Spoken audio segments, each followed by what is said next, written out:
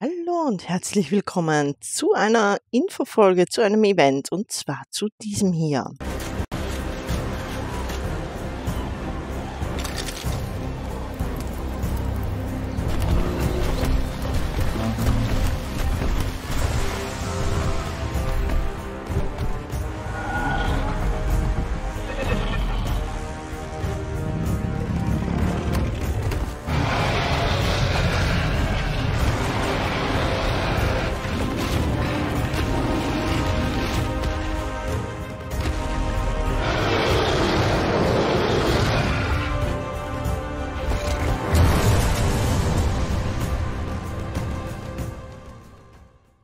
ARK hat sich in letzter Zeit sehr viel getan. Ähm, no? So, machen wir es so, ist besser. Ähm, zum einen kann man zum Beispiel jetzt ARK auf Mobilgeräten zocken, kostenlos. Zum anderen, ähm, ARK ist drei Jahre alt geworden und ich nehme an, dazu gibt es jetzt dieses Event. Wie funktioniert das Event? Äh, ähnlich wie bisherige Events. Ich brauche einen Kochtopf. Ich muss Dinge sammeln und kann mir dann daraus was craften. Was gibt's da alles? Also dieses Mal in der Hauptrolle steht zum Beispiel der Pachi. Ja, ist doch einfach äh, hübsch, oder? Ähm, was haben wir hier? Wir haben das Digimolch-Kostüm. So schaut er ohne aus und so mit. Ist schon ganz nett. Dieser gehörend. Richtig niedlich finde ich das hier. Das ist das Tri-Kostüm. Ähm, nennt sich äh, Styracosaurus-Kostüm. Trike normal wäre so. Ich habe dazu mein A-Hörnchen genommen, das arme. Und mit Kostüm so. Schaut er fast aus. Ja, gut, ja. Mhm. mhm. Und der dritte ist der Pronto. Auch der hat dieses Mal ein Kostüm bekommen. Und zwar das Brachiosaurus-Kostüm. Und jetzt schaut er aus wie ein ganz neuer Dino. Moment, das dauert nur kurz. No? Deswegen habe ich die anderen vorher schon angezogen. Damit das fertig geladen hat. Den mag er nicht, okay.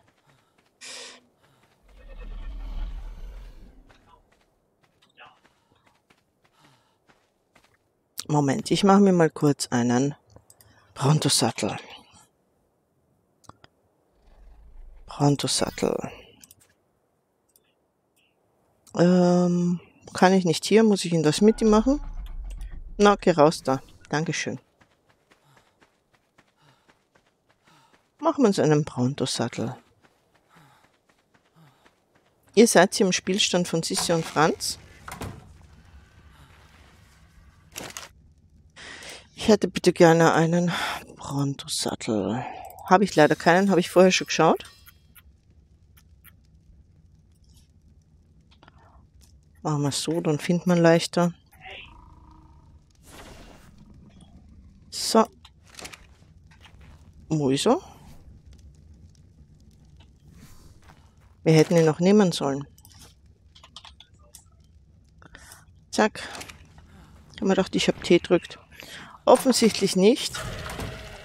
Ah, jetzt hat er noch fertig geladen. Na, siehst. Schaut schon nett aus. Und so gar nicht mehr wie im Pronto.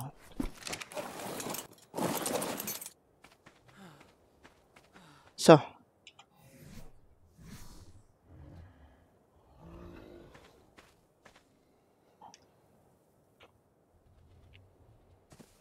Das sind also die Dinos, die in der Hauptrolle stehen. Ähm, wie immer gibt es aber auch diese Knochenkostüme, zum Beispiel auch für den Bronto oder für den Kano oder für den Trike oder für den Rex. Schau mich nicht so hungrig an. Nein, für den Stego, für den Quetzi, ja. Und den da, den seht ihr bei mir nicht oft. Auch für den Giga. Mhm. Ja. Also für all das gibt's das. So, wie könnt ihr das craften? Das ist eigentlich ganz einfach. Kann sein, dass ich vorher was vergessen habe. Ja, wahrscheinlich. Ich muss mal kurz mal Wasser holen. So, wie kann ich das finden? Das sind dieses Mal keine leuchtenden Loot oder so, sondern es sind am Boden vorkommende Ausgrabungsstätten, die man finden muss. Und komm, lass mich rein. Dankeschön. Ich wusste doch, ich hab's vergessen. Und zwar schauen die aus. So. Das hier. Da finde ich Knochen drinnen. Die nehme ich mir.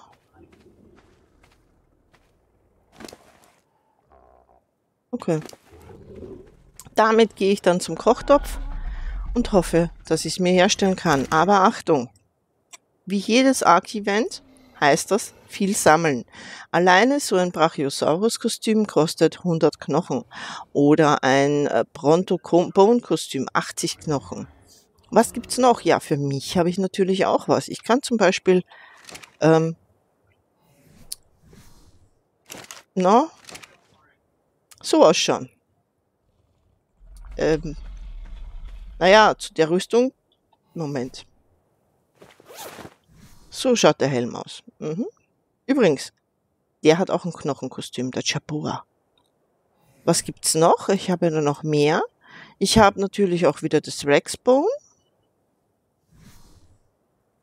Und ich habe natürlich auch den Trike.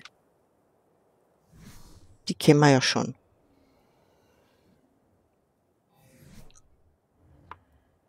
So, aber ich finde den da am feschesten.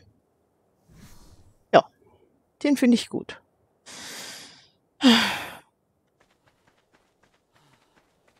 Das heißt, man rennt herum und sucht sich so Knochen vor, vorkommen Ach, da ist eh noch eines. Man sieht, die sind jetzt nicht so selten. Es sind scheinbar immer drei Knochen drinnen.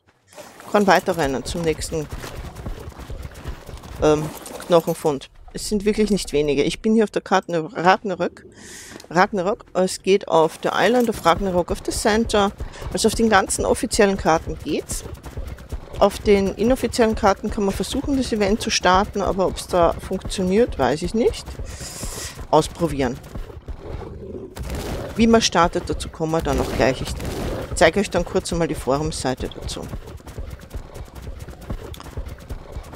Was gibt es noch? Es rennt ähm, mit 5%iger Wahrscheinlichkeit ein Texrex, Texrex rum. Auf der Karte. Einfach frei, Wildbahn. Mhm, mh, mh. In die Richtung möchte ich eigentlich gerade rennen. Ich möchte schauen, ob ich ihn dann finde. Achso, nee, ich kann es nicht ausblenden, aber ich könnte ihm ja noch was auf Speed geben. So.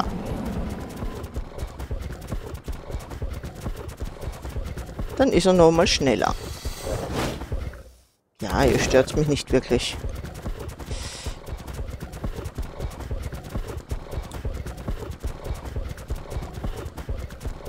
Ich habe mir einfach gedacht, ich nehme mir ein schnelles Tier. Und dann schauen wir mal, ob wir was finden. Der Countdown für dieses Event lief fast zwei Wochen. Ich muss ehrlich sagen, ich hatte auf was anderes gehofft. Nicht auf eine Event-Ankündigung, auch wenn ich äh, natürlich sage, ja, ist cool, weil drei Jahre Arc ist schon toll und das Spiel hat mich selber auch einige tausend Stunden begleitet. Auch ich habe schon über 4000 Spielstunden in Arc.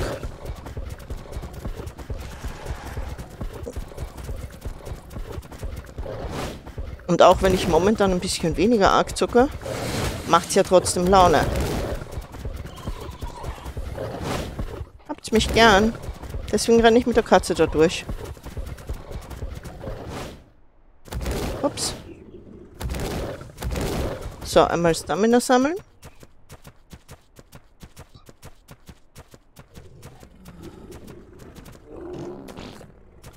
hätte der Katze natürlich auch was zum Essen mitgeben können. Das wäre einfacher gewesen. Naja. Jetzt ist spät sind wir schon fast in dem Gebiet, wo ich hin möchte. Wo ich mir eventuell einen Tex Rex erhoffe.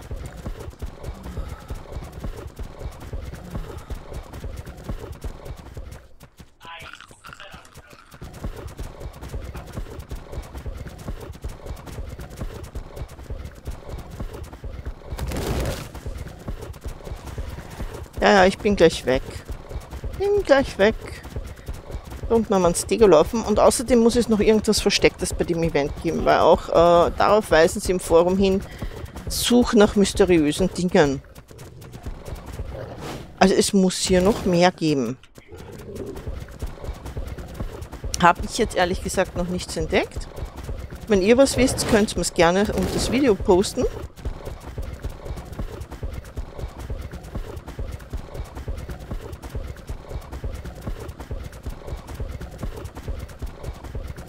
Haben wir Papachis.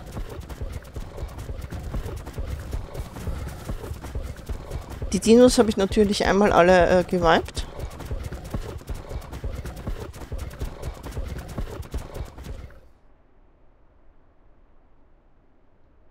Da unten sind nur Allos. Da haben wir ein paar Brontos. Wo habt ihr die Rexe versteckt, Jungs?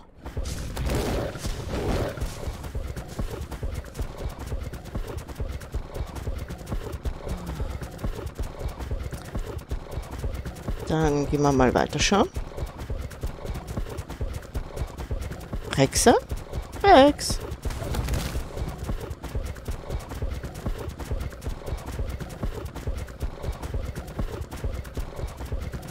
Kein Rex.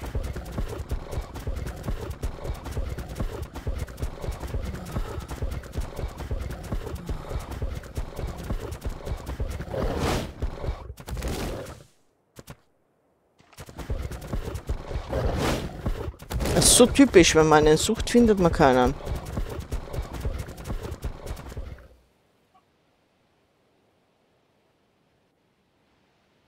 Okay. Sollte man einen Textrex sehen, den kann man themen. Man kann ihn themen und man kann ihn auch züchten. Wir suchen uns hier mal irgendwo eine ruhige Ecke. Hier eine ruhige Ecke, das ist, eine sehr gute, Vor ja, sehr gute Idee.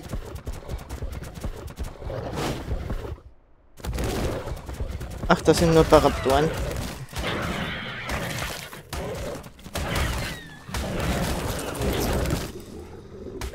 Hey.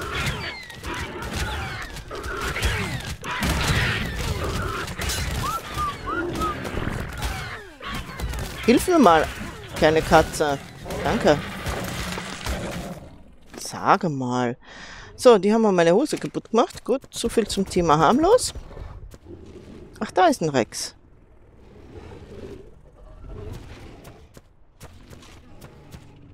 Voll ruhige Ecke hier. Und eine fünfprozentige Chance eben, dass das ein Tex-Rex ist. Ich sollte mich irgendwo hinten verziehen.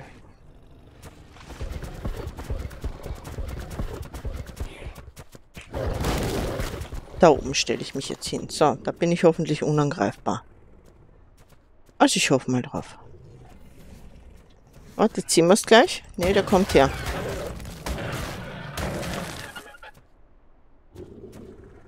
Der andere ist zu doof. Gut.